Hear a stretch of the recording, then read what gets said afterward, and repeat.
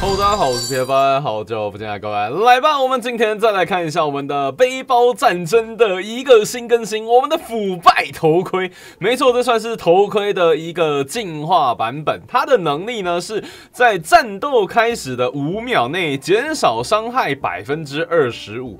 其实以这个游戏而言，减少五秒钟的伤害，很像就已经非常非常的浮夸了。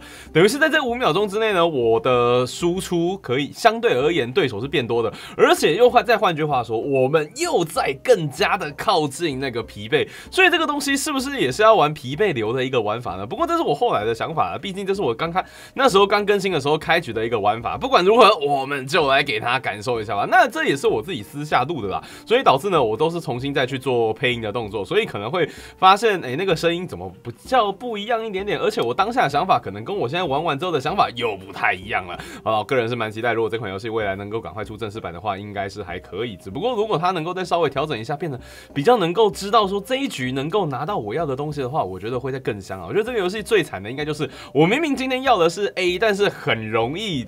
就拿到 B 的装备，对，就变成说有可能我用第 C 套装备可以更轻松的打完，那我为什么要打那么痛苦的用一些很恶心的方式呢？就像是很多人都叫我玩年年，我就说谁会去玩年年，对不对？你玩出年年的情况下，说不定都已经输了几局了，因为没有那么容易的去拿出年年。虽然说年年的强度是高到一个爆表，没错，但是我会觉得取一个 CP 值最高的，反而会是这个游戏最舒服的一个状况。好了，那我们前面的情况呢，我们都还没有把腐败头盔给它拿出来啊，所以这边的话，我们就直接给它加速一下。看一下目前的状况。那现在前期的话呢，我还是蛮喜欢用铲子的啦，因为我都是，可是要双铲子会比较好。可是单铲子的话呢，我要再配另外一个主攻的武器会 OK。因为如果双铲子的话，到后面我再拿一个武器，我就要把铲子给它卖掉，我就觉得说我会有一种，我先拿锅贴，我先拿。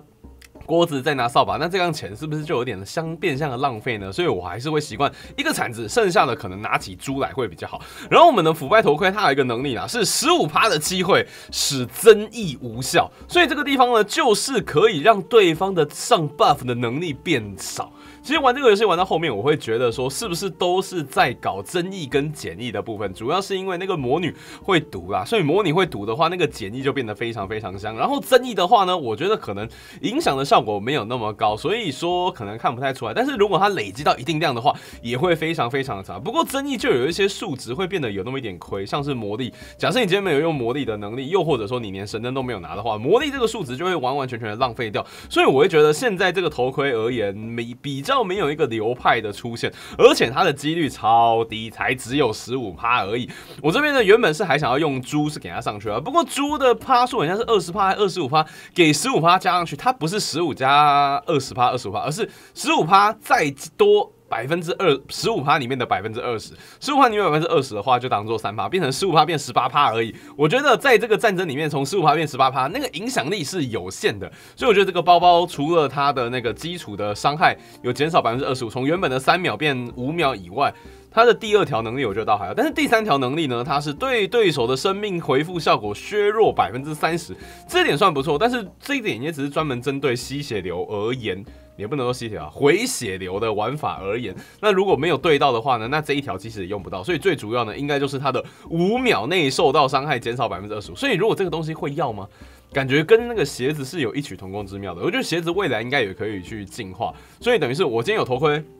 然后，如果我有又有便宜的那个腐败水晶，我可能才会把它拿出来。但如果没有的话呢，我可能就给它放一边。好了，那我们在这个回合内呢，也把我们的腐败头盔给它拿出来了。只不过呢，要先给它净化一下。那我这边呢，先把我们的剑也给它升上去了，至少两边的攻击力又给它上去。不过这样子上去很像有那么一点点的哀伤，因为对面是两把剑跟我们的加速手套，我这里呢只多了一个笛子。说到底啊，其实我还是蛮爱笛子这个东西的，因为笛子它可以给你护盾以外。呢，还会给你幸运，还会给你耐力，所以我觉得这几个都还算蛮像。那我这边呢，就把我们的铁剑果断的给它换掉，换上了我们的西洋剑。想说我只要一个武器就好，但是我这边好像也把铁铲给它卖掉。我刚才说不要把铁铲卖掉，但是我这边选择把它卖掉。但我觉得很像应该是不需要的才对。我这边应该还可以有铁铲去增加我的伤害，但是我觉得我现在已经快要爆掉了，我不想要再去重录下去，所以我就直接果断的，哎，我不要伤害，呃，我不要钱了，对我完全不要钱了，用这个方式去把我的伤，去把我的最大输出给拿出来。因为我玩这个游戏玩到后面发现。我前面虽然说要钱，会可以增加更多选择，但是通常赢上去的人选钱，就代表说我少了一些空间，甚至少了一些这些钱原本可以拿去买更强力的装备的情况下，所以我选择呢，哎，还是把那个钱不要选，那我是不是会更大的输出？那我这边有选择出两只猪啊，原本是想要给他。都放在我们的剑上，至少我的幸运可以变得比较多。我们的西洋剑在这边，我觉得伤害也算蛮扯的。它没攻击到呢，会增加点幸运；攻击到的话呢，会消耗幸运，然后增加它的伤害量。所以西洋剑呢会越打越痛。刚好我全身上下呢也只有这个武器在打而已，所以就直接给它强化上去。这样的话，是不是这把剑就会变得非常非常的香？那可以看到，哎，我们现在头盔在哪里？已经没有在用了。对，也不能说没有在用啊，就是它不是一个主流，对，它没有办法成为一个主流，但是它就是默默的在旁边帮你付出，因为。因为你就算丢多两个头盔、三个头盔、四个头盔好了，你还是只有在五秒内的伤害有减少而已。如果他第二个头盔变可以变成十秒，第三个头盔可以变成十五秒的话，那可能头盔还有叠上去的意思。那其他的话，我觉得倒还好。你说为了那个十五趴的争议吗？那我要叠几个才可以？我叠两个，就算给他叠到三十趴好了。我必须要再买一个头盔，再买一个腐败水晶。虽然说我已经又买了一个腐败水晶啊，但只是为了应该是特价时候我买的吧。然后那这边的话呢，我还是就专注于我的西洋剑，然后我就配上我们的穿甲剑，然后再给它幸运给它叠上去。幸运叠的越多，攻速我们消耗的越快，它的幸运就消耗越多，消耗越多，它的伤害就会越沉。那一样啊，我今天有笛子的话，又再把我们的神灯给它拿出来。其实我真的蛮喜欢神灯流的这个东西，就是如果今天当你单武器没有要干嘛的时候，你就把你的神灯跟笛子拿出来，你就可以把它给灌上去。呃，说到多武器的话，其实好像也除了弓箭以外，我觉得其他好像都还好。不然的话，因为就是要把耐力的部分也给它搞上去，才有办法多武器。不然的话，实在是太容易就给它没有耐力了。那对方现在两把武器的情况下，没事，我们今天光单武器就可以把它给扛掉了。对我觉得单武器给它到底的话，其实可能比多武器还要来的疯狂。只不过要给他伤害加到极致才可以，就是我们的攻速可能要给他够快，才有变得有意义。不然的话，单武器攻速不够快，好像也没有那个差别。那对方的话呢，直接把黑暗剑给他拿出来用，毒是毒下去了，没错。但是没事的，我觉得真的跟那个头盔有关系吗？我觉得很像也看不出来有什么所以然，你知道吗？那剩下的话呢，就是不断的去把穿甲剑的旁边给它强化上去。穿甲剑的话，我觉得以武器而言算是蛮好用，一来它增加爆伤，二来的话它又可以增加幸运，然后再搭配西洋剑的话，我们的。幸运就用不完了，就变成说我们的西洋剑可以越打越痛，前提是要打到了。如果今天没打到的话，也会有点干。但是呢，哎，没错，只要当西洋剑拿出来的时候呢，整个就完全不一样了。所以说我就是牺牲我的选择，然后呢去强化我的队伍。其实这才是真正的玩法啊！只不过作为拍片而言的话，会变得有那么一点点的亏就对了。好，那我们这边拿出了第二个神灯跟第二个笛子。那这边的话呢，我是没有把神灯给对到的，应该是我刚刚发现的。哎，没有，我还是有对到，我还是有对到啊！我没有对到是上一局，我还有。拍另外一局，可是那一局的话我就没有上，因为同样都是头盔，我觉得选择一局就好了。这一局的话呢，我觉得更香一点点。但是这一局的主角好像变成是西洋剑，可以看到我们的西洋剑的伤害戳一下，直接来到六十三 D，再配上一个蓝色宝石，攻速快又可以直接打真伤。那对方要怎么扛？如果今天对方又用护盾的话，等于是没有意义的，反而占了一些他的空间。所以我这样子是不是会更香那么一些些呢？对方有钢之年年，但是再配上那个护盾，可是我们那个东西有那个蓝宝石在，直接戳掉对方。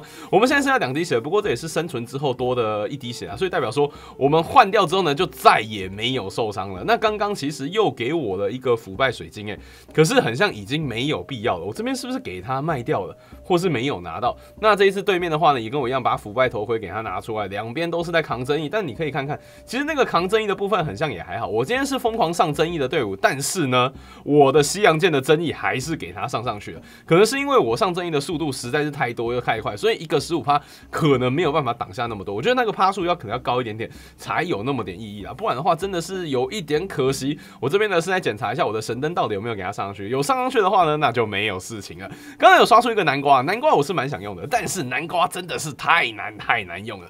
好了，那最后的话呢，我继续再把笛子给它上上去。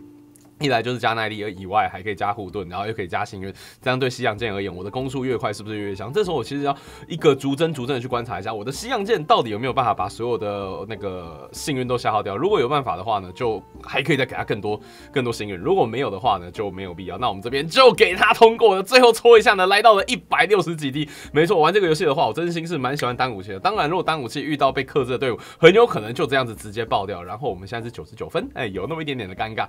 好了，以上。上就是我们的腐败水腐败头盔的开箱。但我觉得总体而言，跟腐败头盔倒还好。可能未来龙鳞铠的话，龙鳞靴的话，应该也会出另外一个腐败头盔腐败的版本吧，一定会有的。不然的话，那个装备其实还有那么一点点少，它的有些流派其实还没有那么的完整。唯一最完整的应该就是疲惫流了吧。那这影片就该到这里，我是 P Y，我们就下这边再见啦，三二一，拜拜。